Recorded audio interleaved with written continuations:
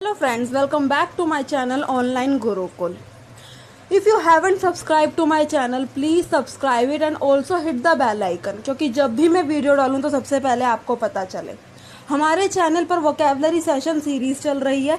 इस सीरीज़ के अंदर वोकैब को कितने लंबे समय तक हम याद कर सकते हैं क्योंकि कुछ टाइम होता है उसके बाद हम वोकैब भूलने लग जाते हैं। तो हम इंटरेस्टिंग ट्रिक्स के साथ वोकैब याद कर रहे हैं। मैं ऑलरेडी चार वीडियो अपलोड कर चुकी हूँ। अगर आपने नहीं देखी है तो प्लीज़ देखिए उसे जाकर क्योंकि वो बहुत ही हेल्पफुल है आपके किसी भी गवर्नमेंट एग्ज़ाम के लिए। So let start the video without any delay मैं लिंक डिस्क्रिप्शन में दे दूँगी उन वीडियोस का। सो so, आज का जो फ़र्स्ट इंटरेस्टिंग वर्ड है वो है एक्स्ट्रा पेट एक्स्ट्रा पेट का मीनिंग होता है जड़ से ख़त्म करना। किसी चीज़ को बिल्कुल ख़त्म कर देना अबॉलिश कर देना एक्स्ट्रा पेट कहलाता है। अब एक्स्ट्रा पेट का जो इंटरेस्टिंग ट्रिक है लिंक है वो क्या है? अब आप एक्स्ट्रा पेट को जो प्रोनाउंस करोगे तो एक्स्ट्रा की साउंड आ रही है और पेट की साउंड आ रही है। तो बस यही इसकी ट्रिक है एक्स्ट्रा पेट। एक्स्ट्रा पेट को मुझे एक्स्ट्रा पेट करना है डिस्ट्रॉय करना है। कोई भी व्यक्ति जिसका एक्स्ट्रा पेट हो जाता है, सब यही सोचते हैं कि हमारा पेट बिल्कुल स्टम फ्लैट हो जाए। इसलिए सब अपने एक्स्ट्रा पेट को एक्स्ट्रा पेट करते हैं डिस्ट्रॉय करते हैं, ख़त्म करते हैं। तो यहाँ से आपने क्या समझा? जो एक्स्ट्रा पेट है, उसका मीनिंग होता है डिस्ट्रॉय करना, जड़ से ख़त्म करना।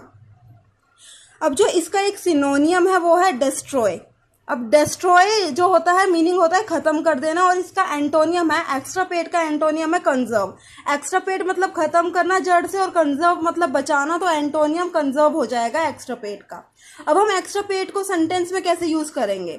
We have to extirpate unwanted plant from the field हमें जितने भी अनवांटेड प्लांट है फ़ील्ड के अंदर, उन्हें एक्स्ट्रा पेड करना पड़ेगा, उन्हें ख़त्म करना पड़ेगा, उन्हें जड़ से ख़त्म करना पड़ेगा।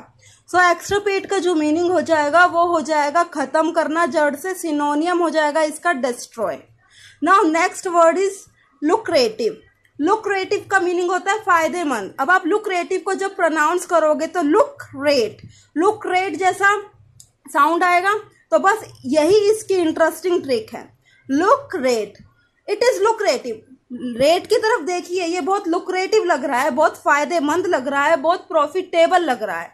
तो यहाँ से लुक्रेटिव का मतलब निकल कर आ रहा है फ़ायदेमंद। Look rate it is lucrative बहुत फ़ायदेमंद है, बहुत प्रॉफिटेबल है। सो लुक्रेटिव मीनिंग इज़ फ़ायदेमंद। लिंक हो जाएगा ट्रिक हो जाएगी इसकी लुक रेट अब लुक्रेटिव का सिनोनियम और एंटोनियम देख लेते हैं। सिनोनियम हो जाएगा प्रॉफिटेबल फ़ायदेमंद और जो एंटोनियम हो जाएगा अनप्रॉफिटेबल जो फ़ायदेमंद नहीं है। अब सेंटेंस देखते हैं इसका दिस डील लुक्स लुक्रेटिव ये जो डील है ये लुक्रेटिव लग रही है बहुत फ़ायदेमंद लग रही है बहुत प्रॉफिटेबल लग रही है। सो so, लुक्रेटिव का जो मीनिंग हो जाएगा वो हो जाएगा प्रॉफिटेबल फ़ायदेमंद।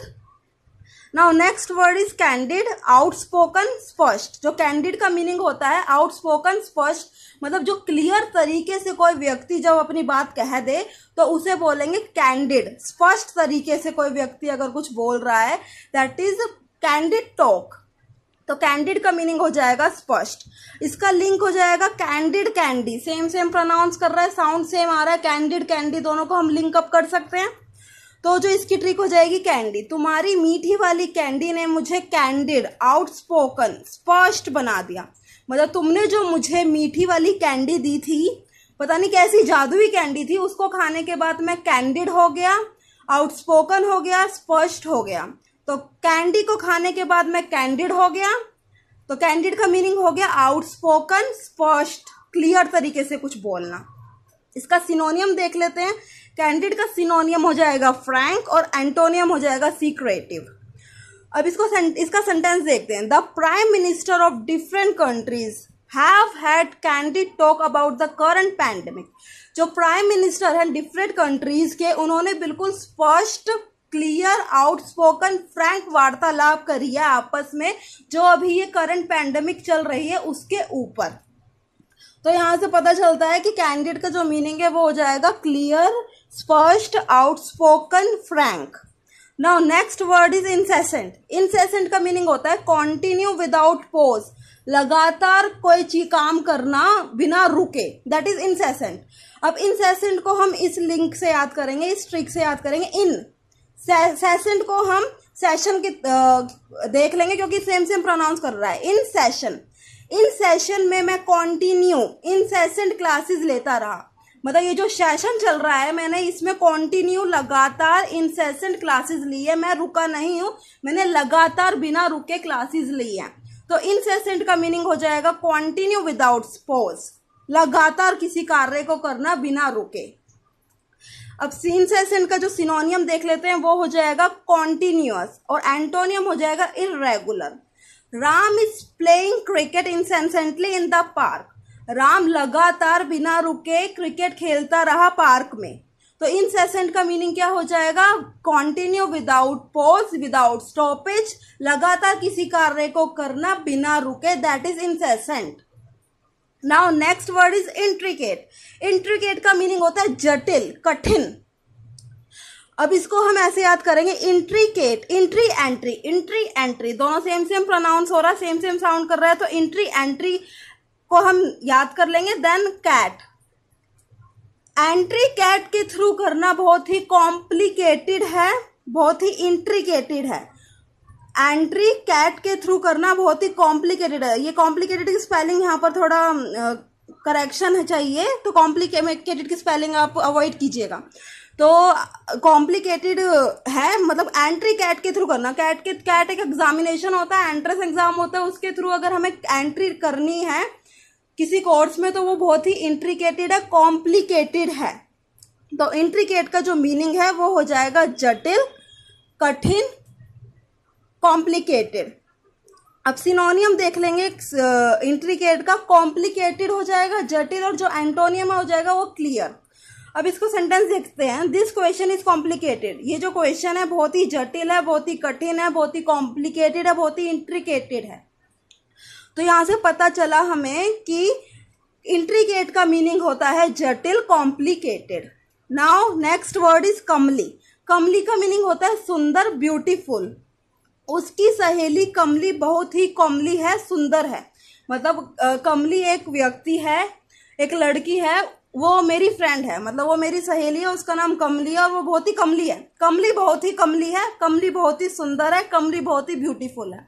तो कमली का मीनिंग यहाँ से निकल कर आया सुंदर ब्यूटीफुल अब इसका सिनोनियम देखते हैं सिनोनियम हो जाएगा ब्यूटीफुल और जो एंटोनियम है वो हो जाएगा ugly sentence she was as comely as I was ugly she was as comely as I was ugly वह दिखने में उतनी ही अधिक सुंदर थी जितना मैं अगली था। तो यहाँ से कमली का मीनिंग निकल कर आया, सुंदर beautiful now next word is destitute destitute का मीनिंग होता है बेसहारा। लिंक हो जाएगा अब डेस्टिट्यूट देसी एटीट्यूड जैसा साउंड कर रहा है डेस डेस से हो जाएगा, देसी टिट्यूट से हो जाएगा एटीट्यूड देसी एटीट्यूड तुम्हें डेस्टिट्यूट बना देगा। तो जो देसी एटीट्यूड है, वो तुम्हें डेस्टिट्यूट बना देगा, तुम्हें बेसहारा बना देगा। तो यहाँ से डेस्टिट्यूट का क्या मीनिंग निकल कर आया? बेसहारा। इसका सिनोनियम देख लेते हैं, जो डेस्टिट्यूट का सिनोनियम हो जाएगा इम्पोवरिस्ट और एंटोनियम हो जाएगा एफ्लुएंट इम्पोवरिस्ट का मीनिंग भी बेसहारा होता है और एफ्लुएंट धनी। तो the flood left thousand of people destitute. बाढ़ ने हज़ारों लोगों को बेसहारा कर दिया। मतलब जो बाढ़ आई, उसने जो हज़ारों लोग थे, उस प्लेस पे उन्हें बेसहारा कर दिया डेस्टिट्यूट कर दिया। तो डेस्टिट्यूट का मीनिंग हो जाएगा बेसहारा। Now next word is commiserate commiserate का मीनिंग होता है सहानुभूति दिखाना।